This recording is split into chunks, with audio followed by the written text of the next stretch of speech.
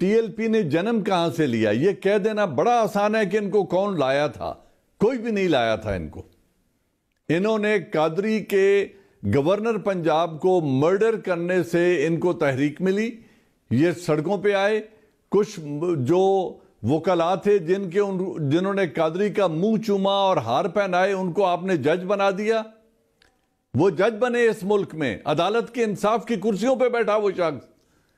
और उन्होंने कहा, उस वक्त उसने कहा था कि मैं इसका मुकदमा मुफ़्त लड़ूँगा और उसका मुँह चुमता था वो शख्स। तो जब ये पॉलिसीज़ होंगी तो फिर उस वक्त इन्होंने जन्म लिया, वहाँ से इनकी एक तहरीक चली और इन्होंने करते करते स्ट्रेंथ पकड़ के ये पॉलिटिक्स में आ गए। अब वो जिस धरने का बार बार रेफरेंस दिया जाता है कि किसने कमर पे हाथ रखा, किसने पैसे तकसीम किए, देखें, उसकी आज भी आप तफ्तीश करवा लें।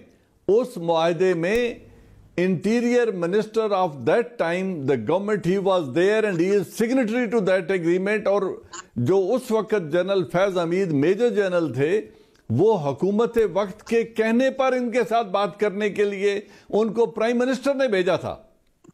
ISI comes under the prime minister of Pakistan उन्होंने भेजा था कि जाएँ और इनके मुजाकरात करें और इनको यहाँ से उठवाएँ।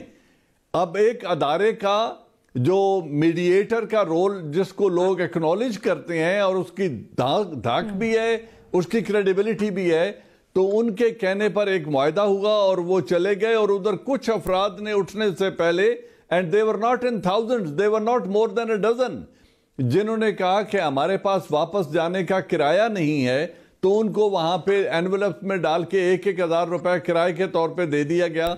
It was nothing more than that वो बारह आदमियों को बारह हज़ार रुपया लेकर नहीं आया था। वो चले थे लाहौर से। लाहौर के चीफ मिनिस्टर शहबाज शरीफ ने उनको रोका था। लाहौर से इस्लामाबाद तक आमद में किसी ने उनके रास्ते में रुकावट डाली थी। फैजाबाद के धरने के चौदह दिनों में किसी ने उनको उठाने की कोशिश की थी।